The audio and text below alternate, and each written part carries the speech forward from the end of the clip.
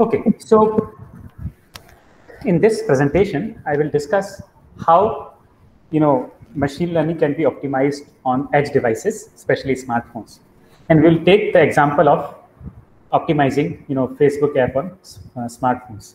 So you know, I particularly myself don't use Facebook. I don't recommend you waste time on it, but you know, the, the, the context of this presentation is that suppose you, you you design a very wonderful application, right, or an app. Now people will download it people will run it on their uh, smartphones. But the smartphones are varied in nature, especially if you target a global audience. There will be people uh, whose smartphone will range from maybe 10,000 rupees to 1 lakh or more. So how can you design your application so that it gives you know quality a good quality of service to different ranges uh, different range of users so this presentation is based on this paper from facebook machine learning at facebook understanding inference at the edge so we all know how fast mobile phones have evolved, especially after this touchpad system, this touch system came and the internet capabilities came, and so on. So now uh, it is you know part of people's life. In, in fact, actually, in, in 2000, in 2004 or, or six around that time, it was a you know saying that if if a rickshawala can have a mobile phone, we'll really you know believe that uh, his mobile phones have become pervasive, and that that has happened. So you can see the penetration of them. So first of all, now why worry, worry about smartphones, right? You know, because people can use desktop or tablet to to run it. So in fact, actually, Facebook makes more than 90% of its advertising revenue from mobile phone. Most people they they, they you know catch up what the so-called catch up with the latest updates while they are on the go. That means they do it on the mobile phone. So now running machine learning services on on these edge devices such as smartphone is attractive, but also challenging, right? It, it's easy to say, but difficult to do. So their neural so now the whole point is the Facebook application is supported by many, many machine learning services, machine learning algorithms, including neural network algorithms. And this app is running over uh, 1 billion mobile devices.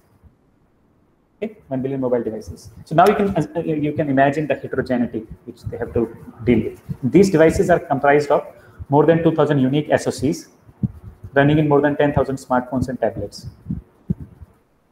Okay, so I'll show the example. I'll, I'll just here, yeah. So here is the constitution of a mobile SOC. So different companies can design mobile SOC like Qualcomm or MediaTek or Huawei. They can design their mobile SOC. Now, now nowadays, actually, mobile phone has practically everything, right? It has a uh, gyrometer and whatnot, right? It has a image signal processor for high frame rate. It has a DSP for artificial intelligence, virtual reality, augmented reality, modem for internet connectivity, video encoder, decoder. Uh, okay, so CPU takes only very small portion of the SOC area. Now, actually, people expect the same experience they get on the desktop PC from a mobile device. But the power budget we have is very, very small, right? Because if the mobile phone battery has to last for at least one day, maybe more, then it should not consume a lot of power. And plus, if you put it in your pocket, it should not heat, right? It should not become very hot. That's why you have to do it all within a very tight power constraint. So here is the simple block diagram of the mobile SoC. So here we have CPU. Here we have CPU, then we have a GPU. So this GPU is not NVIDIA GPU. This is a simple Mali GPU or some simpler GPU. Then we have this uh, modems, which uses DSP. Then we have this uh, audio video. So all this sits on a multimedia fabric. Then we have a you know uh, the in interface like USB or flash memory, and then we have this is these are the main memory. Okay, so these IPs are clustered together based on how similar they are or how dif different they are from each other. Now, these SOCs have multiple IP blocks such as CPU, GPU. For example, I may, I, suppose I am a you know um, mobile manufacturing company. I may purchase CPU from one company, uh, neural net, neural processing unit from another, DSP from another, uh, IS the image signal processor from other, video from someone. Okay, so these are all called IP blocks. Now, number of IP blocks in a single SoC are increasing a lot. For example, in 2010, a typical uh, mobile phone had only nine IP blocks. Now it has 36 IP blocks. Okay, so now uh, if we see the peak performance of different smartphone SoCs. So here, see, for, for example, focus on this 2013. So the lower, low, lowermost circle refers to the cheapest phone, which was introduced in 2013. So it will have low performance, obviously. And the one which which is there, the which has highest performance, which or which is the costly, that will have the highest performance in general. So now you can see in 2013, the, the heterogeneity was not so uh, heterogeneity was between that means probably 75 to uh, 10 or maybe 5 between 5 gigaflop to 75 gigaflop. Whereas in 2016, the, the even the, the cheapest phone you can get in the market, it has um, around 30 gigaflops, and the most costly one has almost 120 gigaflops. Okay, so that's why distribution of peak performance has a wide spread. Okay, so the whole point is now now the, the app you're running is same, but it is running on smartphones of so many different types. So now this is your task is to optimize it, your app, so that all the it, it's not that the the this person should feel that okay the app is so so difficult to download or so slow to download. I don't want to use it. Plus, even this person should not feel, oh, this app is trivial, it doesn't have any features. Let me go to some other app. That's why you have to really be adaptive to the user's uh, requirement and resources. So peak performance can vary by an order of magnitude. That means almost 10x, 10 times, which increases design challenge of performance optimization. Okay. Now, see, there are one thing. One thing is, you know, doing something in the in the in the data centers. Okay. So that's like uh, that's called cloud. So in, in, in, mobile processors, taking an idea to product deployment takes much larger time than in the cloud. In, in fact, if you know, like uh, in, uh, you know, in, uh, a few years ago, Intel got into mobile business, but uh, after a few years, they sold all the mobile business. So it's very very competitive, right? Because although it's very attractive, everybody carrying mobile phone, but price war is such a high, and you know uh, you have to keep on introducing new features. So due to heterogeneity of mobile ecosystem, performance characterization and analysis is more challenging than in the cloud. Okay. So most of the uh, cloud inference runs on the server class CPU. So what do you mean by cloud inference? So if you, uh, I hope you know that in the in, in machine learning, there is an inference phase and a training phase. Okay. So in the training phase, we train the model, we find out the weights, and in the inference phase, once we, we already have the trained model, we use it for making some prediction or some such as classification. So, uh, so for example, you might, might have seen this Alexa. So you give some command to it. So Alexa itself does not do the inference. Okay, it, it just records your speech. It sends that speech to its data center using that Wi-Fi connection. Do, in, in, in the cloud, inference happens. That means whatever response it needs to give, that is found out in the cloud. So that means the inference is happening in the cloud. That's called cloud inference. So that happens on the server class CPUs. That means high high-end CPUs.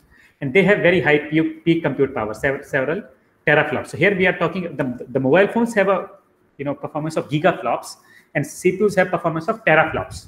Okay, uh, uh giga means 10 to the power 9, tera means 10 to the power 12. So mobile SoCs give between few gigaflops to few hundred of gigaflops. Okay, so mobile uh, mobile SoCs have much much less you know compute capability than in the uh, CPUs that are in the cloud.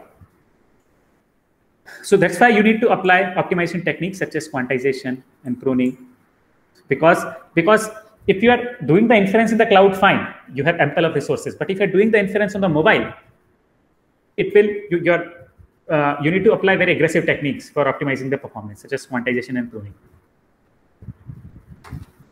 So what those techniques are, we are not going to discuss here. You can read them separately. So now let us see uh, that, see, we have, uh, how many, right here we mentioned, we have uh, two, we have al almost 2000 unique SOCs. Now, although there are so many unique SOCs, is it that one SOC is quite popular or much, much more popular than the other? So they, that's the study here they are doing. So here they see that there is there is no single SOC which is prominent. Okay, there is no standard mobile SOC to optimize for. For example, here, uh, if you want to cover 95% of the market, you have to take almost 240 SOCs. Okay, but if you only take the top 50 SOCs, here you have to take 225 SOCs. If you take only 50 top SOCs, it only covers 65% of the market. Only 30 SOCs, which are the most prominent, they, they have more than 1% market share, and their joint coverage is only 51%. So that means if you only take 30 SOCs, you have only covered half of the market. So, so that's why heterogeneity is just too much. Okay, you have to think of many, many SOCs, not just one SOC. Okay. Uh, so chipset vendors use their custom designed components with IP blocks licensed from other companies. As I already explained, you may have one IP block purchased from one, uh, another IP block purchased from another company. So on Android, Facebook app runs on more than 2000 SOCs, whereas on iOS, it runs on a dozen SOC. So actually, if you if you know that you know these are different companies have different design strategies. For example, Apple. Apple makes only a few different SOCs, whereas uh, Samsung, companies like Samsung, they make so many different type of phones and similarly there are other, other companies all of them all of them are compatible with android so that's why on android there are so many different type of socs but you know ios is a closed source it's only for apple. So here on ios it runs only on very few just a dozen of socs okay so now let us talk about the cpu cores. So the year when smartphone cpu cores were designed or released. So they have done this study i think in 2017 or 2018 so in 2018 only uh, 25 only 25% of the smartphones used CPU cores, which were designed in 2013 or later. Okay, so only this part. All others, all other were older CPUs. And out of them, uh, Cortex A53, this is the name of a CPU from R. It was used in more than 48% of the mobile processors, and Cortex A7, it was used in more than 15% of mobile processors. So uh, these are in order in order mobile processors. So that's why most of our today's edge inference runs on in order mobile processors. And these have one to four cores per, per, per cluster. So, actually there is, if you know a little bit about architecture, in computer architecture, there is in order core and there is out of order core. Right now, I don't have a time to explain it, but uh, so out of order cores handle user facing and computationally demanding tasks, whereas uh, in order cores handle background processing tasks. So nowadays, actually, most of the mobile phones have asymmetric cores. So they have some out of order cores, out of order cores, which can handle uh, high performance applications, and there are in order cores which handle background processing tasks, such as checking email, triggering notifications. And another thing is, as I already said, most of the mobile SoCs have CPU, GPU, DSP, and so many other, you know, uh, IP blocks. So a Qualcomm Hexadesk, uh, Qualcomm Hexagon DSP is eight times faster than the CPU and also eight times more energy efficient. And it is also more energy efficient and faster than GPU. So on, on a particular benchmark. Okay, let, let, us further understand the hardware diversity. So iOS devices tend to use few, fewer more powerful cores. Whereas Android devices, they have many more cores, but each of the core is less powerful.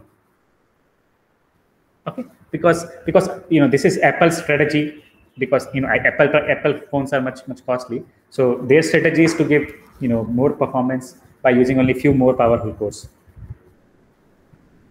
So half of the SoCs have two CPU clusters, one cluster of high performance cores, which is out of order cores, and another cluster of energy efficient cores. Okay, in nearly all the SoCs, cores within the same cluster have a shared cache, okay? but no cache is shared between the cores. Okay, that means between this high performance core and the energy efficient core, there is no sharing of cache. So that's why whenever you need to send data from one cluster to another cluster, that will happen. Uh, I think do we have that? I, I don't have the figure here, but that happens over a bus. Okay. That's why synchronization cost between the cluster becomes very, very high because you can't just share the data through a cache. You have to send it explicitly by using a bus. So that's why uh, they optimize their application for the common denominator, which is the high performance CPU cores. Because if they were to use both high performance and low performance simultaneously, the communication between them is very slow. That's not very efficient. That's why they uh, optimize it on a cluster of high performance cores. Now, uh, see, in, in the high end servers, right, for the high end uh, systems, uh, GPU gives much, much better performance than CPU. But on the mobile system, the situation is not same. Okay. Uh, the performance difference between a mobile CPU and GPU DSP is narrow. So that's why nearly all the Android devices run inference on mostly mobile CPUs because all mo mobile GPUs does not give us too much high performance. Plus, using the mobile GPU, mobile GPU has programmability and software challenges. So here you can see the peak performance difference between mobile CPUs and GPUs is very, very narrow. Only, as I see, in, in, in a mean Android device, GPU provides only as much performance as its CPU. So here you can see this is the mean, uh, mean, mean, uh, uh, mean, mean, mean GPU, which provides, here the ratio of GPU flop to CPU flop is just one. That means GPU is as powerful as CPU. Only 11% of the Android smartphones have a GPU that is three times more performant than its CPU. So here, so if you want to go three, this is three times. If you want to capture this, this is less than 10%. This is almost 11%. Okay. Okay. CPUs of mid-end SoCs are 20% uh, slower than those in the high-end SoCs, whereas GPUs are two to four times slower because so the, the reason for this is mobile has no dedicated high bandwidth memory. In, in, in the in the high-end servers, we have high bandwidth memory such as GDDR5 or HBM. But in the mobile, we don't have high bandwidth memory. Okay? And in the mobile systems, CPUs and GPUs share the same memory controller. So that's why they compete for the memory bandwidth. So GPU does not get sufficiently high bandwidth. Okay, so instead of, okay, forget about GPU. Can we use DSPs or neural processing units? So DSPs are domain-specific accelerators for fixed point inference. Okay, DSPs do not support floating point computations. So again, DSPs are available only in 5% of the Qualcomm-based SoCs. Other companies don't have this uh, DSPs. And most DSP do not implement vector instruction. Actually, I think in the, in the recent recent DSP, they do implement vector instructions also. Similarly, very few SoCs have NPUs in them and only few out of them have are programmable by third parties. So even if you have SoCs which have NPU, programmability will become challenge. See, the, see if, if only one company can design it, other companies who are more expert in programming side, they will not be able to design compilers or other software tools for them. So usability will remain a problem. Even if you have something which is very, very fast, but it, you can't use it because of the programmability challenges, because library challenges may occur, may occur compatibility, portability, those issues occur. So here are some example of NPUs. For example, Apple Bionic SoC has Neural Engine, and Kirin, Kirin, uh, Kirin has Cambricon 1A. Okay, now let's try to understand programmability challenge. So, so now again, let me go back to the big picture. The big picture is we want to run an app on so many mobile phones. And the challenge we're facing is first of all, we have to decide for what should I keep in my mind while designing my software application? Should I think about CPU? Should I think about GPU or DSP? If I think about even if, even if I think about uh, CPU, should it be uh, should it be uh, low power CPUs or high performance CPUs? So all those questions we have to understand, and to understand this question, we are discussing all this, right? So some of the major APIs used to program neural networks are following. On for mobile GPU, there is OpenCL and OpenGL. On Android, we have Vulkan, and on, on iOS, we have Metal. Okay, so uh, Open OpenCL support. So Vulkan is successor of OpenCL and OpenGL, but it is found on less than 36% of Android devices. Okay, so here you can see the some of them have no GPU, some of them have no library, loading fails, loading crashes, or the older versions of OpenCL. Similarly, if you see the most recent version of OpenGL that is supported on only very few, a very small fraction of GPUs. And Vulkan 1.0 is supported on only very small fraction of GPUs. Okay, so even if you have, even if you purchase GPU, even then programmability will remain a, will remain a bottleneck. Whereas Metal is a different case. Why? Because Metal is similar to Vulkan, but with much wider market share and much more mature stack support. Why? Because Metal is given by Apple, right? So Apple makes the hardware, Apple makes the software. So it does not have to depend on some other company for designing the software. Everything is there within the same company. Okay, so that's why 90 and 95% of iOS devices support Metal. and uh, also because you know Apple smartphones are costly, so their GPUs are also much more performing. So peak performance ratio between GPU and CPU is approximately three, three to four times. If you're getting so much performance on GPU, why not run your applications on GPU? Okay, so that's why on iOS models, Facebook apps use GPU for accelerating neural network inference. Okay, so again to summarize, when you have Android, and Android is running on so many different type of SoCs. Most of them are somewhat low cost SoCs. So their GPU is not very powerful, or even if GPU is there, library or programming support is not there. That's one Android devices. It's very, very difficult to use GPU. Whereas on iOS devices, it is all by Apple, hardware, software, everything is by Apple, and the GPU is much, much more powerful. That's why Facebook uses, a Facebook app uses GPU on those uh, devices, Apple devices. Okay, so uh, now let us see the DNN performance across a range of smartphones. So we evaluate two important DNNs. One is ShuffleNet for image classification. Another is mask R-CNN for human pose estimation. So whole point is, you know, so why they have chosen these? Uh, because because these are uh, these are used for and you know because these, these applications typically run on the mobile phone nowadays. People, you know, immediately want, uh, they, they don't just take photos, they want to also do some processing on it. So uh, another thing is, you know, for example, people upload their photos on Facebook. So their engine will detect it, whether it is some vulgar photo, it will remove it, or it will try to organize them. Okay, all of them belong to Mr. A, all of them be, uh, belong to Mr. B. So all those classification happens, right? And similarly, human pose uh, estimation, again, it could be a vulgar, vulgar pose or some other things. So all these are to be done.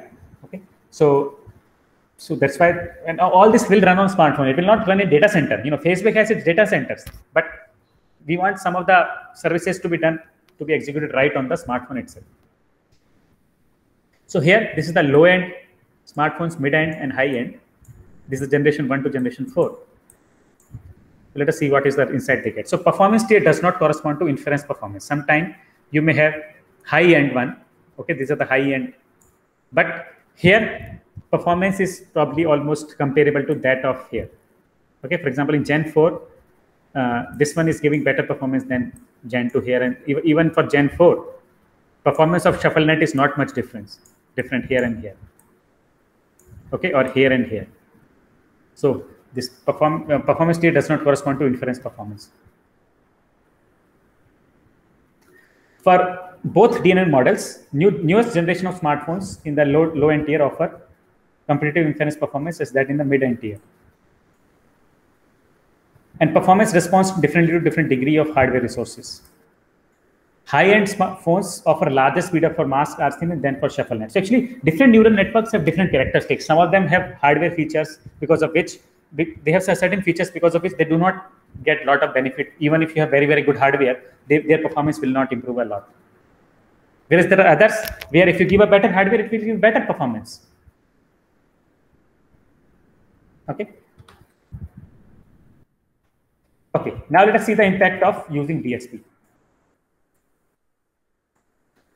Okay, so here they take a Qualcomm uh, Qualcomm mobile phone, which has a big dot little cluster. So big means uh, high performance cores, and little means power efficient cores or energy efficient cores. So here they have a A73, which is a big, big core, and A53, which is a little core. That means less, less performant, but more energy efficient core. And it also has a DSP.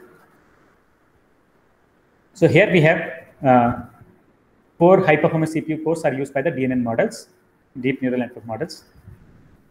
Uh, DSP shares the same memory space with the mobile CPU cores. That means the the uh, the DRAM is same between CPU and DSP, but the caches are different. Okay, DSP has its own separate cache, CPU has its own separate cache for certain reason, which I'm skipping because of the time. Okay, now let us see the performance, which is more important. So on all the applications, DSP provides better performance than CPU. So here it is hand tracking, image classification, pose estimation, action segmentation. For all of these tasks, DSP provides better performance Uh, either comparable or more, up, to, up to three, three times better performance. So this is actually logarithmic, logarithmic scale. Okay, so highest speed up comes for models with simple convolution operations such as hand tracking and image classification. Whereas this, these are more complex, so here you don't get as much speed up.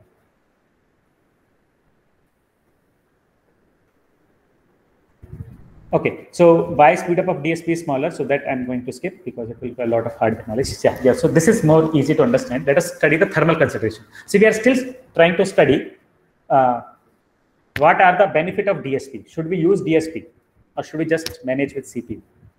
Okay, so one one factor we saw was that DSP achieves better performance.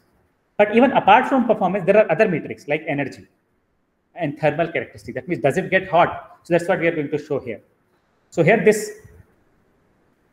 this you know dark darker line is for DSP and this lighter line is for CPU. Okay. So here you can see that FPS. FPS means frames per second. So better frame per second you get, better is the performance. That means in each second, if you can process more frames, that means your performance is better. And this is the power consumed by them, and this is the temperature of the SOC, uh, which which happens if you use the if you use the uh, you, you, you, if you use CPU for running a model or if you use a DSP for running the model. Okay, so here if you see what happens, initially CPU consumes two times the power of DSP. Okay, here the power of CPU is almost two times. Here it is almost 2.5. It is here it is around five. Okay, so CPU is consuming more power, and because CPU is consuming more power, it is dissipating more power, and the thermal throttling happens. Okay, what is thermal throttling? Is it's like you know throttle somebody's neck. That means you don't allow CPU to make progress. Throttle means when you throttle the CPU, you tell it, oh, you are consuming too much power. I can't allow you to make further progress. So we stop, we reduce the frequency.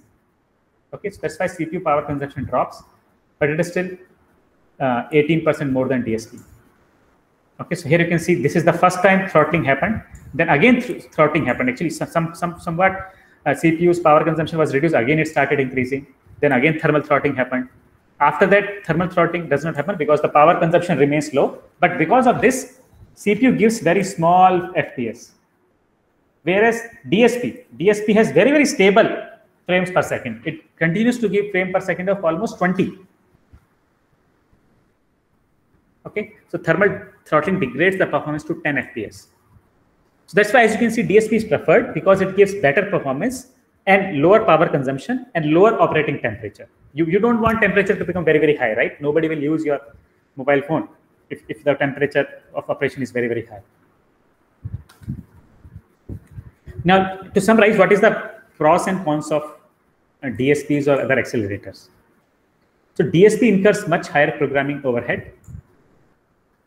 Okay, so as I said, you know, CPUs is, are easy to program. They are already conventionally there. They are well understood and writing program for CPUs are easy. Whereas DSP, they incur much higher programming overhead. Most DSPs support fixed point data types and operations. Okay, so DSPs do not support floating point numbers. That's why to use DSP, you have to quantize the models, which leads to accuracy loss. Further, you need to optimize the memory layout also. Otherwise, memory hierarchy can become a bottleneck. Okay, so DSP has uh, DSP requires certain specific memory layout. Okay, so so now now we can see to summarize main reason to switch to an accelerator or a, or a DSP or other co-processor is uh, is power efficiency and stability. That we see you don't want see if you see like CPU, sometimes it has very high FPS, sometimes it has low FPS. We don't want it. That degrades user experience. User wants a fixed and a predictable performance, which is offered by the DSP, and that's why DSP is preferred. It is not just because it is giving higher performance, it is giving a stable performance without consuming much power. Okay, so that's the benefit. This is the uh, some reference. Uh, if you have any questions, please uh, feel free to ask. If you don't have, I will move to the next presentation. So I am sure this presentation has given you some idea of uh, how you know what are the challenges of mobile phone? It's not very easy right to run it. But at the same time it is very important because as you saw facebook earns 90% of its uh, app from mobile phone. So if you design one very nice software but it can only be accessed over desktop many people will not be able to use it because many people don't have a desktop. But many more people have smartphones or mobile phones. So if you can if uh, if you can provide an, uh, it's like a Android app for that, many more people will be able to use it. But now how how but if, if their experience is very very poor, they will hate you. They will give you poor ratings. So now you have to think, right? How can I have very good rating? That means how we can have a very good user experience. So that so here here is the need of this presentation. Uh, that you have to think about how to optimize the app on their mobile. You can't just say, okay, start the GPU. If there is no GPU support, you ask the user to use GPU, they will be angry.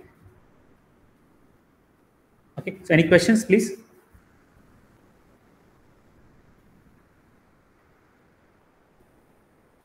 So have you, has anybody used any, any, any neural network application on their smartphone? May not be Facebook, but any other application.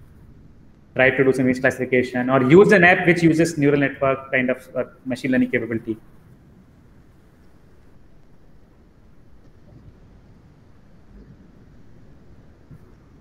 I think, sir, when we use app, so most of us are not uh, aware that whether what is it at the, at the back end. So mm -hmm. uh, yeah. Mm -hmm. Yeah, yeah. You mean it? Yeah. So sometimes actually uh, these apps uh, behind the scenes they are using, for example, like Amazon. Sometimes you purchase one item on Amazon, it always suggests you. That's called recommendation system. If you have purchased, for example, shoes, it will suggest you also buy the socks yes. or they show frequently buy together. So how are they coming with that recommendation? Because they're observing user patterns. It's not that some person is observing those patterns. Some neural network engine or some deep learning engine is observing all those you know correlations, and that's how it is giving you the recommendation. Because see, if I purchase a sock, very likely I will. Uh, if I purchase a socks, very likely I will purchase a shoes. So instead of myself searching, wasting 10 minutes for searching the best shoe, why not suggest the people? That's why this recommendation system is a very big research. So uh, in, in, all the e-commerce websites and so on, that they try to find this correlation. Yes, yes. Okay, so any other questions or any other observations or comments or experience with this, uh, you know, using mobile phone for deep learning? And now, now actually another thing is, so, so here is like for, but even now, nowadays, you know, even for like medical, uh, for example, people are saying that using using a mobile phone, you can probably do some kind of scanning uh, to detect whether you have COVID. I, I, I, doubt whether you know COVID may be difficult to detect, but there could be other diseases like skin diseases uh, and so on, to which can be detected just by taking a mobile phone uh, image. Okay. So so now you can see that even if you develop any application, so you might have heard of this Raspberry Pi or you know and uh, Arduino, right? Many of the courses you might have taken or uh, somebody would have shown you. So, so Android is like a, oh, so, sorry, this uh, Raspberry Pi has a CPU, which is probably more more powerful than the mobile phone. But whole idea there is also same. There is also it's a low it's a low cost, low low, low power consumption CPU. So whatever most of the things they can do there, you can also do here. Driving. So now we'll see what are the challenges in autonomous driving. Some of the challenges, of course, this is a very big field. These are some of the acronyms we'll use.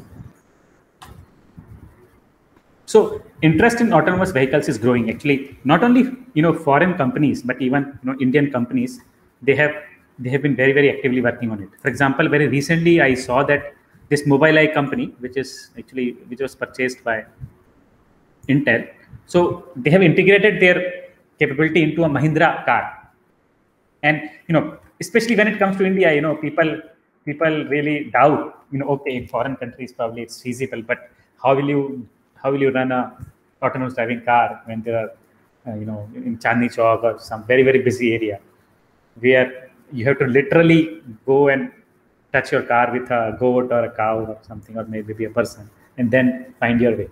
So, uh, most probably that will also be possible. But here, at least to begin with, we are talking about some simple. Here, of course, in the research presentation, I will make it quite simple, but actually even, even that may happen soon. Okay? So you can see you know not, not just academic institutions but research companies they are working full time on autonomous driving. They have you know designed the full software hardware for it. And another another point which we have to think is that see initially it may not happen at full scale. Initially it may not be able to replace all the human drivers. But in a controlled condition it can happen right? For example IIT campus or maybe Infosys campus or some, you know, uh, border patrolling.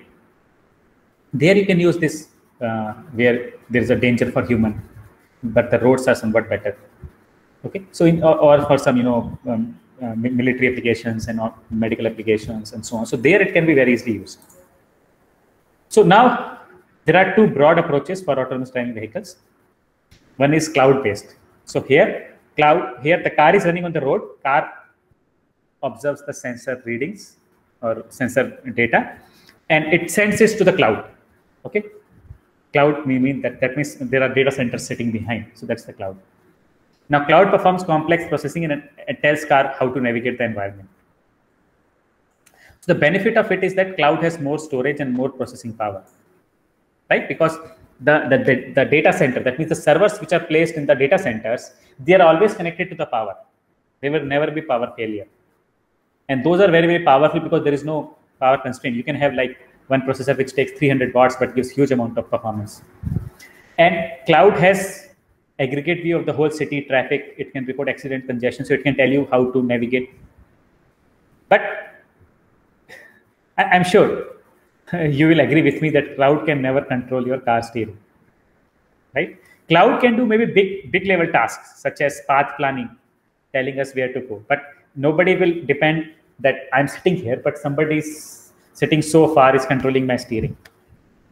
Okay, and another thing is that you know there could be transmission failures or delays or security issues, right? Uh, for example, you send some signal to the cloud, in, in between somebody intercepts it, so they can find out what you're doing, and then they send you a wrong instruction.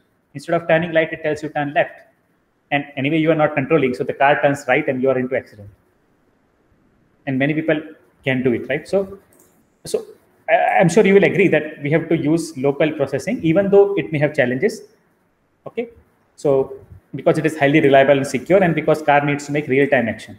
So here you can see that's why this MIT car has so many things on it. It has so many sensors, and inside the car, actually, there it is not a person sitting. Probably, uh, maybe there may not be any person, but definitely there is, you know, there is a lot of computers kept, which are you know dissipating uh, heat, and then you have AC to cool that.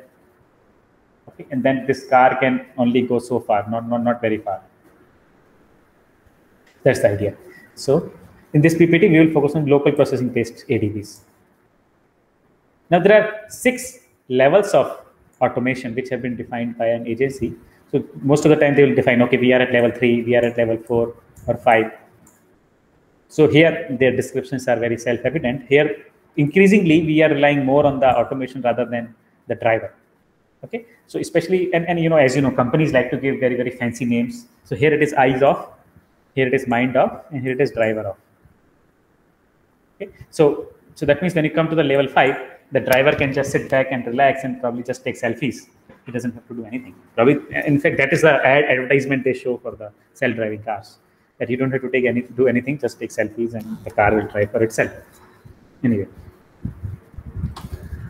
now let us talk a little bit about the sensors so first of all, our, our, our first thought which comes to our mind is that uh, we will have computer vision for driving the car. Okay, but you know, uh, computer vision is not sufficient for driving the car. We need other sensors also. So we have you know this camera, radar, lidar. So here you can see uh, we have lidar sensor, uh, radar sensors, image sensor, and that means all the sensors are there, and you have to fuse the readings and then make the decision. Okay, so that, that's what was shown on this card. So here it has so many sensors. These are all different different types of sensors. All right. So so now sensor placement. So here this is camera, this is lidar, this is uh, radar, lidar, and radar. So you can see all different types of sensors are there. This is audio detector because sometimes you know imperceptibly we are using the audio audio signals also, right? How how close is my the car behind me. Okay, so let us compare. So radar, this radar is cheap, it is low resolution, it is used most widely. So here you can see the radar is there. And it works well in extreme weather. So sometimes uh, you can see the weather is extreme, there is like rain or cloud. Whereas lidar is more expensive. It is much higher resolution than the radar. LiDAR, although LiDAR is expensive, but it provides you much higher resolution. And especially in estimating the depth, it is very good.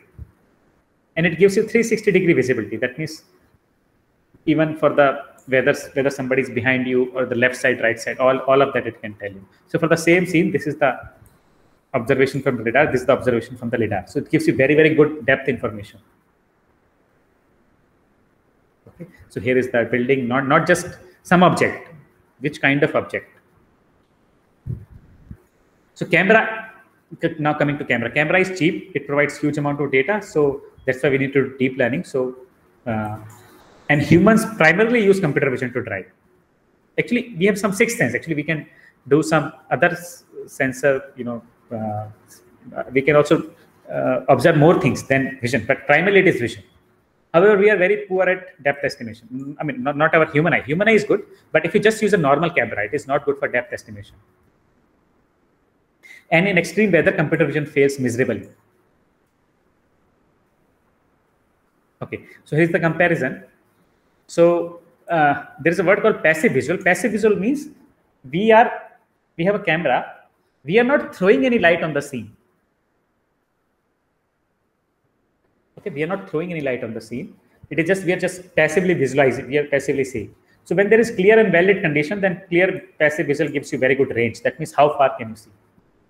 And acuity is the sharpness. How, how sharply can you see the scene? Sonar is very poor in, in, in, in these things, especially the range of sonar is very poor. LIDAR, radar, they are reasonable. When it is clear but dark condition, passive visual almost fails. LiDAR still works. When there is heavy rain, snow, or fog, as you can see now, signals cannot go easily. So LiDAR also fails. At that time, only radar works. So as you can see in Western countries, fog happens a lot. I mean, fog happens a lot in India, but snow happens a lot in Western countries. And rain, rain happens probably everywhere. So that's why you can't depend on a single sensor. You have to use multiple sensors. Now, this is the comparison of different sensors.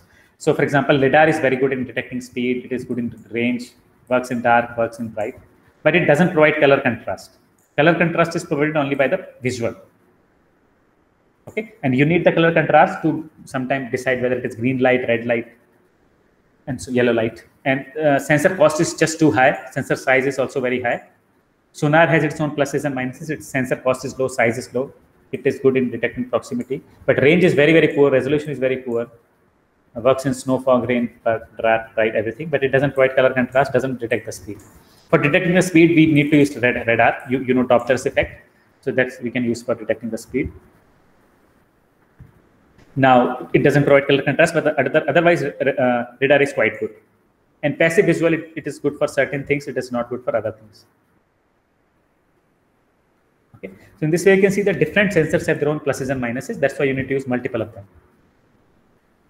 This is the state of art of leading company. Actually, this was some. This is somewhat older presentations, uh, maybe uh, two, two, two, two years old. So I, am sure after that they would have made more progress. So Mobileye is using only camera. Tesla is using camera and radar. Now these companies are using lidar also. Lidar is quite costly. So now you can see because it is so costly, that would increase the price of their cars. Okay, so uh, lidar is a remote sensing device used to examine surroundings of the vehicle by sending light beams. Okay, and now you know if, if you are if you are a person standing in the vicinity of that car, remember that car is sending light beams on you. So nobody will like it, right? So that could be somewhat harmful. But uh, there are some solutions of it. I will not discuss that. So the benefit is that it is high precision, but the challenge is that it's very, very high cost. This is just one lidar. It's not that all lidars are so costly. But, uh, and this price could be more than the cost of the car. Right? So, for example, one of the BMW car that my friend had, I think it, its price was just uh, $40,000. So if your car price is $40,000 and the lidar price is $75,000, it's not going to scale right? One or two maybe crazy rich people can purchase it, but others will hesitate, even there, even if they are some, somewhat rich. So that's why the goal is to avoid using lidar. The idea is use vision-based ADVs using cameras and radars, which are much cheaper. And this is the focus of the companies like Tesla and Mobileye, which I've already shown in the previous slide. Okay, so from rest of the presentation, we'll discuss how to you know accelerate that autonomous driving locally. Okay, so this is a 2018 paper. So here we assume that our goal is to drive the vehicle to reach the destination. We have different sensors, but we don't have lidar. We have to do multiple tasks such as scene recognition for localizing the vehicle at 10 centimeter level. So the whole point is we need to find out where we are because we need to keep our car within the lane boundaries. Right? To keep our car in the lane within lane boundaries, we need very high, we, we need very precise uh, location. So that is called localization. And we have to track nearby objects also, right? Because we have to find the drivable area. Then we need to do path planning. This can be done in the cloud. And the vehicle control, this has to be locally. Okay, so vehicle control for operating the vehicle to follow the planned path. So here is the pipeline. So we have this image. From this, we detect where are the nearby objects. Okay, this is the car just right in front of us, and these are other cars also. And then once we have seen those objects in one frame, we track them in subsequent frames. That's called tracking. Okay, so so here you can see that this is the red, red. This, so this is the green car which is going far from us. This car is also going far from us. This yellow car, this is actually coming close to us. So that's why you can see the arrow. There, this car is coming close to us. So because we need to do our own path planning. So we need to see where are the nearby cars. Okay, this is the tracker. Okay, and then we have to do localization to find out where we are. So we see the nearby points. Okay, so if we have seen this and this and this, so we are at post office. If we have seen this, this and this, we are at the railway station and so on. So this is the idea of localization. And then we do the motion planning. So the two major actions we have to do, should I, should I change the speed? and should I use, should I steer left or right? And the mission planning can be done in the cloud. So now there are multiple challenges or multiple to-dos for this ADVs. Uh, there are other challenges like mechanical, which we'll not discuss. We'll, not, we'll focus on these five constraints. Okay, so uh, as for the power consumption, actually I, will come to it later. Later, let us go step by step. So here we have this performance constraint. Uh, so the reaction time of a vehicle is determined by two factors. Reaction time, by reaction time I mean, if I see a certain scene, I need to react. So how fast should I react? I can't react slowly. there has to be some limit. Okay. So processing latency shows how fast the system can react. And frame rate shows how fast the real-time sensor data can be fed into the processing engine. Okay, so uh, here, is, here is the observation from real life. So the fastest action by human driver takes 100 to 150 millisecond of time. Okay, so some studies have been done to find out this. Now ADV should be at least as fast as a human, maybe even faster, because there could be some more delays, some unexpected delays. Okay, uh, so, so so that's why you have to react at least as fast as this. So the processing latency of a of should be less than 100 millisecond. That means if you operate on each frame, you have to give the result in less than 100 milliseconds. Okay, next is ADVs need to update their understanding very, very frequently because the real-time traffic conditions are changing. Okay? Even if suppose either you're stopped either your car is at standstill or if your car is moving, still the ne nearby traffic is changing, right? So in each second, you need to process lot of frames to be able to keep yourself updated. If, for example, in, as every second you take only one frame, so then you are not able to find out whether the car is moving towards us or far from us.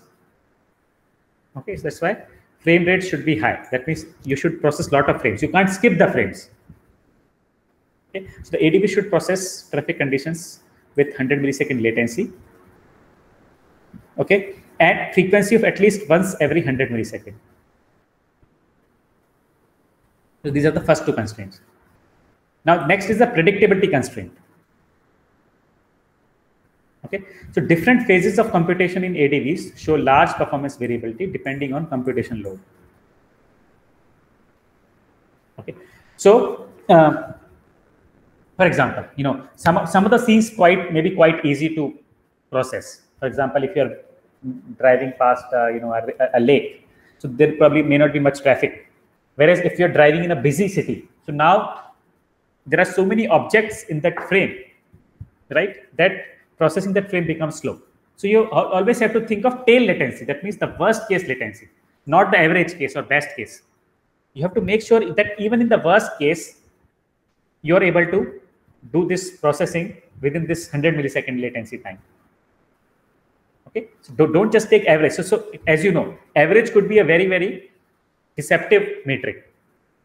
Okay, so for example, if there are 100 people and the average height is 5 feet, it doesn't mean every person is 5 feet. So you can't give an order, okay, design this door to be just 5 feet because people more than 5 feet, they will get stuck. So that's why you have to think about the worst case. That means the highest person. Highest person can be probably 6 feet. So you have to design the door for that. This captures the stringent predictability requirement. Okay, so now for the storage. So as you know, GPS, you know, it, it gives you good data for far off navigation, but it doesn't give you necessary precision. You, you need the precision of 0.1 meter or 10 centimeter. So we have to use prior map, map based localization. What it means. So what it means is that uh, see there are some companies like Google's Waymo where they assume that if they are navigating in certain locality, they already have a map of that locality.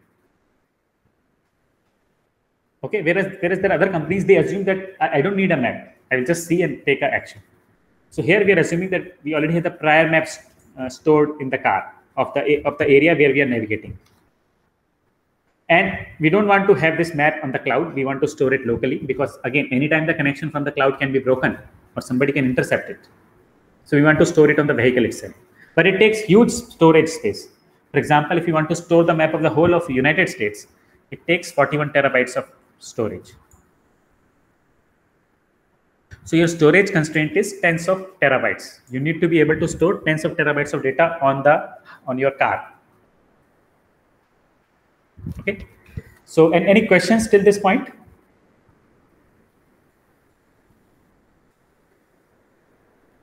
I hope you're understanding where we are going. So just to again summarize, uh, we thought we, we have discussed about what are the sensors sensors that need to be placed in the car. So we concluded that a single sensor is not sufficient. We need to use multiple of them. Then we zoomed down to just using computer vision.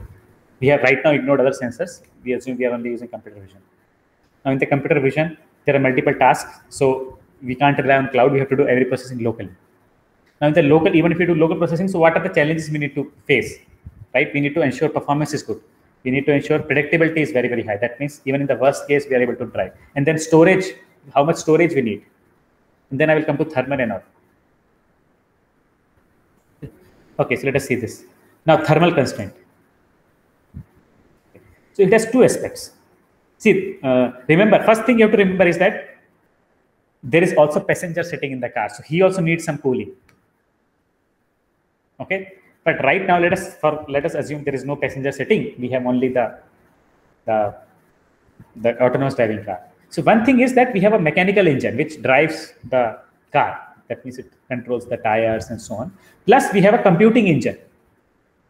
So computing engine makes the decision. It could be your neural network algorithm. Okay, so the temperature of space where computing engine is kept should be within system's operating range. For example, if you have a CPU or GPU, and the manufacturer says that don't operate it above 85 degrees centigrade. Then you have to make sure that the the temperature of your inside the car should not be more than 85 degrees centigrade. Otherwise it will become too too, too hot and it will break down. Okay? and th next thing is this computing engine this itself is generating the heat. So that heat should not affect the passenger or the car. Right? If, if that heat goes to your mechanical engine that that mechanical engine, right, which is uh, that will get very hot. Okay, so now you see now in the outside the passenger cabin, that means suppose you want to keep this computing engine outside the car on the top of the car, it will be very hot. Everybody knows it. That's why computing engine should be kept in the passenger cabin itself. You have to keep it inside the cabin.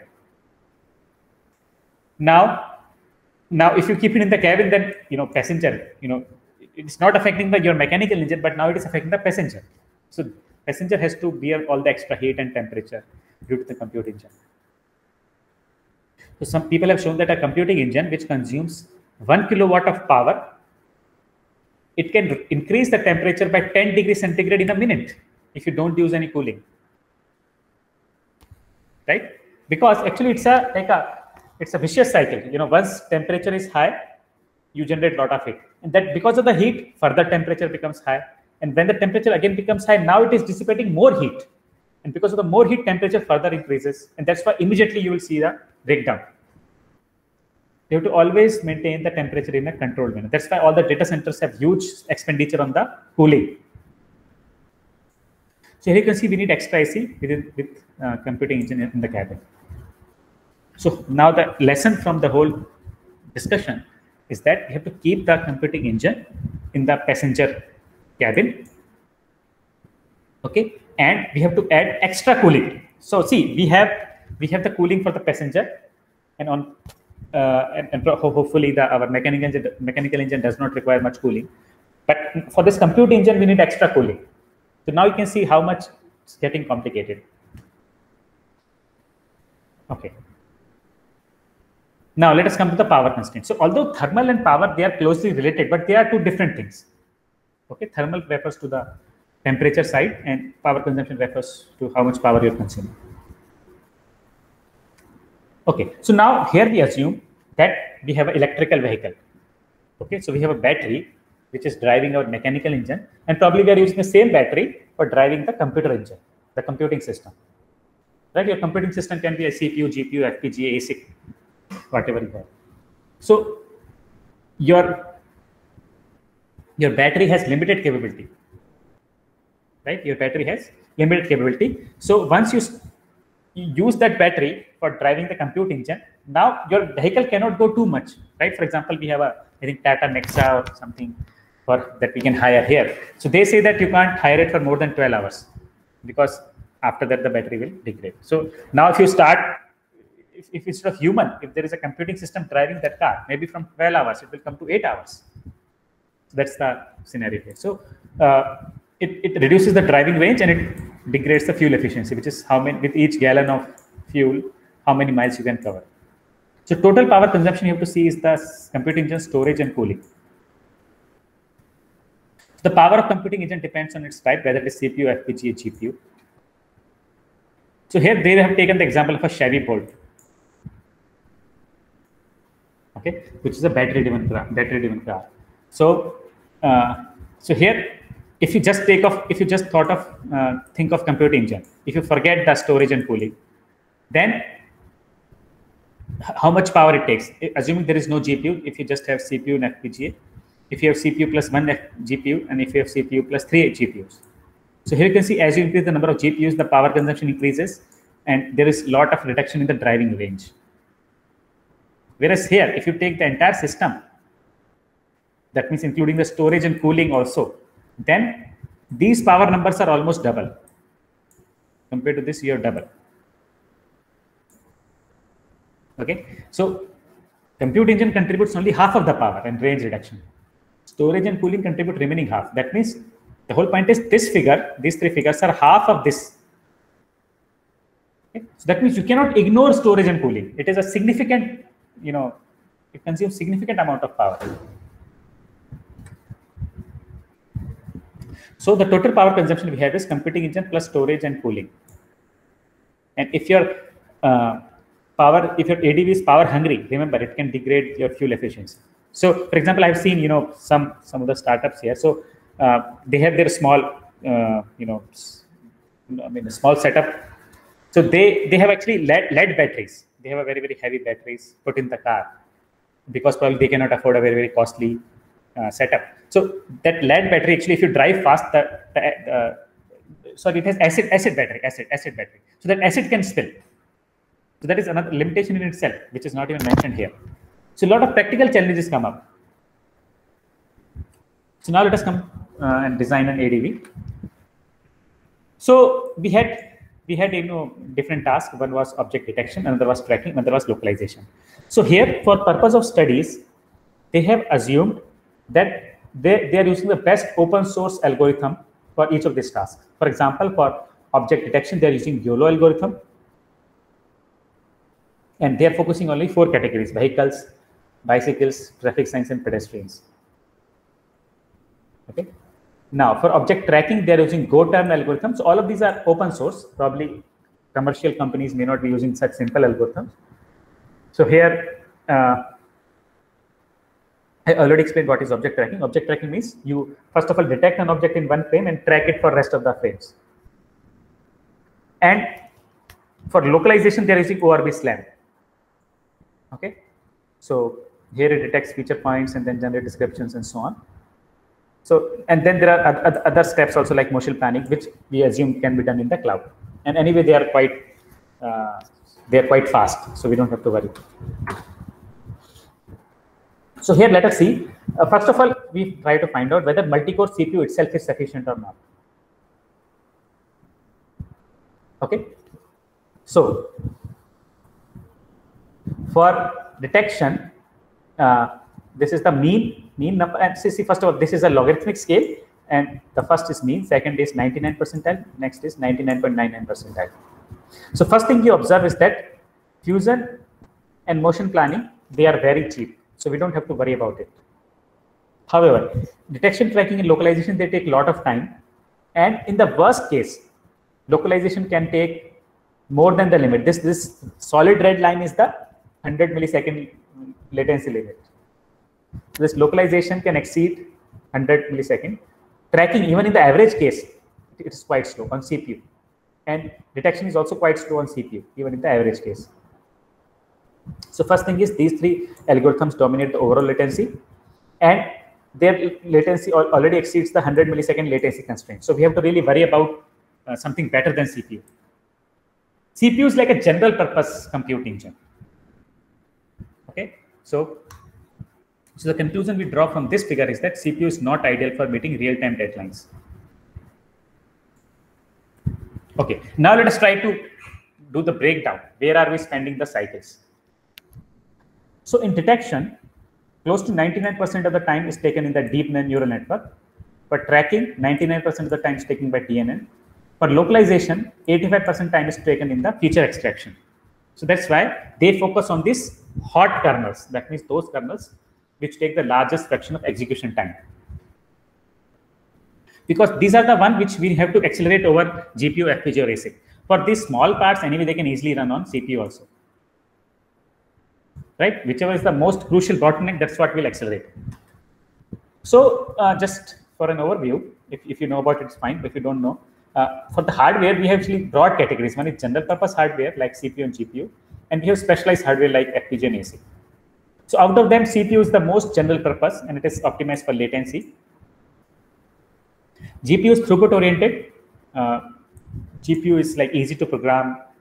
Uh, it's still quite general purpose. Now FPGA, you know, uh, FPGA is programmable logic. Okay, so that means uh, for every specific application you have, you you, you program the FPGA. After some, some time, you can reconfigure it. Use the same FPGA for something else. Whereas ASIC is fixed logic. Okay, once you design an ASIC, okay, you are stuck. You can't change. Okay, it, it takes time to design an ASIC, but once you design, you can't change that. Oh, sorry. Okay, so we are here. Okay, so uh, only big companies can design ASIC, right? Especially the state-of-the-art ASIC. So that's why it's quite costly, but it gives you better performance because it can only do that. It can't do anything else. But for the task for which you are using, it will give very good performance. So here is the platform they have used. This is the CPU they have used, which has very good memory, uh, very good bandwidth. Here, this is a GPU. It has the highest bandwidth. This is the FPGA. Uh, these are the three ASICs they have designed. So for different different tasks, they have designed different different ASICs. And another one thing you can see, these are somewhat older generation ASICs. Nowadays, actually, people are already working at 7 nanometer or 10 nanometer. These are somewhat older CNNs. Oh, oh, oh, these are the older process technology nodes. So one thing is they are assuming single camera and uh, whatever subsequent results I'm going to show, they will assume that these are the CPU, GPU, FPGA. If you were to change CPU, GPU, FPGA, probably you will get a different conclusion, so different insights. For example, if you use a better uh, FPGA, you may you may think that okay, FPGA is the best. But assuming this FPGA, let us discuss the results. So first thing, they already found out that mean latency can lead to misleading conclusions. You can't use average latency. You have to use the worst case latency. That means the tail latency. Okay. Now, GPU FPGA ASIC reduce the tail latency by 169 times, 10 times, and 93 times respectively compared to the CPU. So fastest is GPU, second fastest is ASIC, and uh, FPGA is still you know 10 times better. That means an order of magnitude better than CPU. It's quite good. So here is the mean latency across platforms. This is the CPU, GPU, FPGA, and ASIC. So one thing you see is that uh, between mean and percentile, 99.99 percentile, for ASIC, there is not change. There is no change. This is still 95.9. This is still 95.9. This is 1.8, 1.8, 10.1, 10.1. Similarly, for FPG also, mean and worst case are very similar. Exactly same, not just very similar, exactly same. That means ASIC and FPGA gives you very high predictability. Okay, they are very good if you want predictable. That means whatever happens, we want predictability. So if you remember my previous presentation where I discussed DSP. So DSP gives you very predictable performance, but CPU does not give you predictable performance. But sometimes it is good, sometimes it is bad. So same point we're observing here. So accelerators usually give you better performance and also predictable performance. GPU, it is slightly variation, but still it's not so much variation. In, in case of localization from 20 it goes to 54 but it is still less than the 100 millisecond limit. Okay and one more thing is that for fpga uh, here this is 536 so fpga when if you use this fpga then this 536 is more than the 100 millisecond latency constraint so you cannot use fpga okay so here the result so multi-core cpus can execute localization algorithm within the performance constraints on average. But their tail latency is very poor on all the three tasks. Okay, so we already said that due to large performance variability, we have to use tail latency. We cannot use average latency. Other computing platforms do not experience very high change from mean latency to tail latency. That's why if you are using mission critical mission critical applications, you have to use those accelerators. Okay. Uh, now see the results on power. So these are the power consumption across the platform. So on CPU, uh, CPU has the highest power. Uh, I mean here GPU is slightly higher. Here also CPU is highest. Here also CPU is highest. And uh, ASIC power is very very low. FPGA power is also low. Okay. So FPGA and ASIC power is is much much less than the CPU and GPU power. So if you if if you can try to use FPGA or, or ASIC, I mean, FPGA cannot meet the latency requirements, so definitely ASIC is the best. The choice of accelerator platform has a significant impact on the vehicle driving range and fuel efficiency. So if you happen to choose GPU, fine, it will give you if it, it will give you good performance, but it will also consume a lot of power. CPU is the slowest and it also has highest unpredictability. FPGAs cannot meet performance target at, at least at least this FPGA. It doesn't mean all the FPGAs, but at least this FPGA cannot meet performance targets uh, due to limited number of DSPs. FPGA and ASIC they are much much more energy efficient than the GPU. Okay, but uh, GPU is fast and it meets timing deadlines, but it is power hungry. It reduces the driving range by 12 percent. Okay. Now FPGA and ASIC, they reduce driving range by 5%. That is quite easily tolerable. Okay, so because FPGA and ASIC are very, very energy efficient, that's why they have very small impact on the driving range. Now ASIC provides high predictability. It can meet real time processing targets of ADVs. So overall ASIC is the best. On all the parameters taken together, ASIC is the best. However, designing an ASIC will cost a lot of lot, lot of money and time. Okay, so if you are a dedicated company, okay, you can design your own ASIC, but others, for them, it is quite costly. So uh, now we have assumed only one camera, but if you were to assume multiple cameras, and if you were to assume high resolution cameras or stereo cameras, then you can see how much computation capability more, how much more computation capability you need, right? Because see, most of the cars, you know, or any any any self-driving car cannot just work by one camera. You need to have maybe at least two cameras for the front, two for the behind, and maybe at least one cameras for each side. Okay, so now you can see there are when there are so many cameras, all all of them are generating so many camera feeds at each point of time. So operating becomes very difficult. So that's why you need huge computation capability. Probably even FPGA may not suffice. You have to design an ASIC. Okay, so this is the reference of the paper. So I, am sure you would have found it very, very interesting. Uh, if you have questions, please let me know.